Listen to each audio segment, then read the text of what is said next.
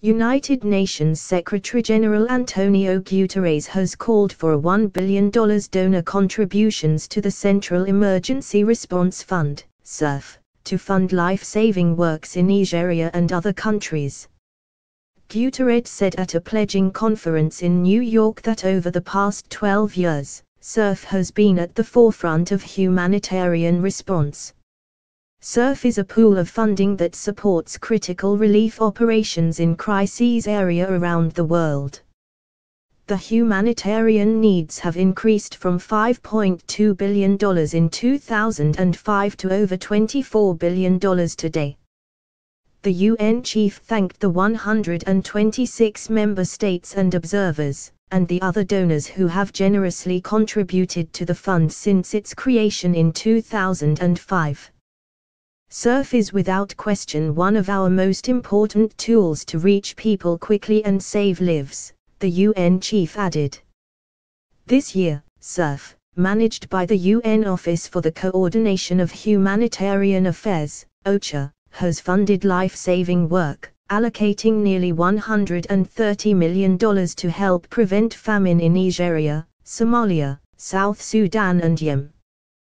The fund also supported relief responses in other places, including for Palestinian refugees in Gaza, Rohingya refugees in Bangladesh, and those affected by Hurricanes Irma and Maria in the Caribbean.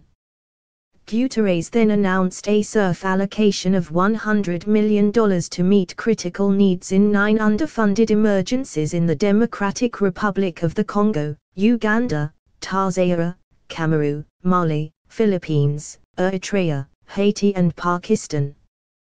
Protracted conflict and the impact of natural disasters, compounded by structural fragility and chronic vulnerability, meant that more people than ever before survive on the brink of disaster, he said.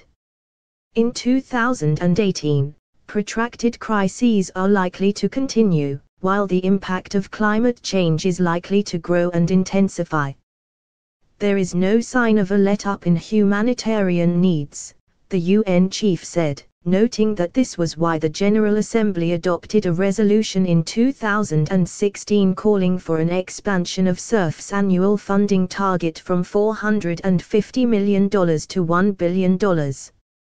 According to him, the global humanitarian funding gap stands at $11 billion as of November. 30 and humanitarian response plans are funded at an average of just 60%. The Secretary General stressed that a billion dollars CERF would help to bolster contingency financing.